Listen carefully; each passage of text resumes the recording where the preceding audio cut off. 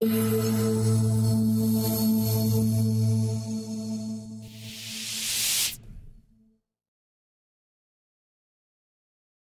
you've purchased MaxQDA Plus, you'll also have the add-on tool MaxDictio. So if you look up in the drop-down menus, if you have MaxDictio there, you know you have MaxQDA Plus. And MaxDictio is set up to help you do analysis in the direction of quantitative content analysis. So analyzing word frequencies, creating dictionaries, and counting those dictionary words. So in this first aspect of the tutorial, we're going to talk about word frequencies and you bring those up simply by clicking on the word frequencies option in the MaxDictio dropdown. The first option you have is to set a minimum number of characters, which uh, usually makes sense.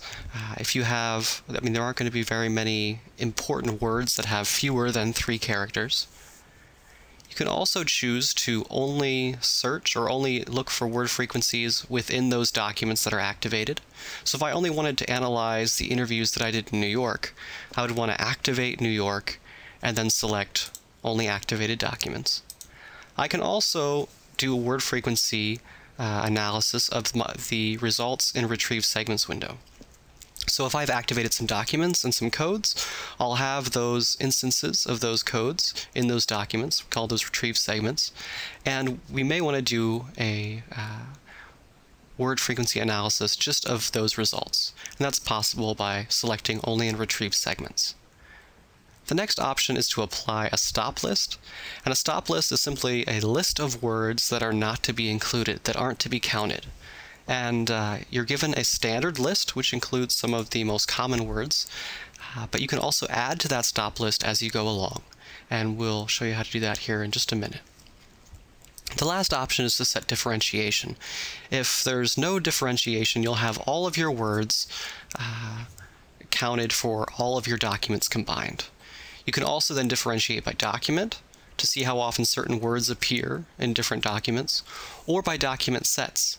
So if you've set it up so you have document sets for just the women and just the men, you could compare how women and men use different vocabulary uh, during their interviews. In this case, let's just use the standard no differentiation. When we click on OK, Max MaxDictio goes through all the documents, in this case 16 documents, counts the over 30,000 words, and uh, over 5,500 unique words. And right here you can see we're sorting by frequency. You can tell because the arrow is next to it. As with any spreadsheet aspects of MaxQDA, we can sort according to any of the headers. So if I click on frequency, we're sorting by frequency. Okay, and we can see that the most commonly used word in this list is life. It shows us that it's four characters long, it appears 613 times in our 16 documents, and it makes up just over 2% of the total vocabulary in those documents.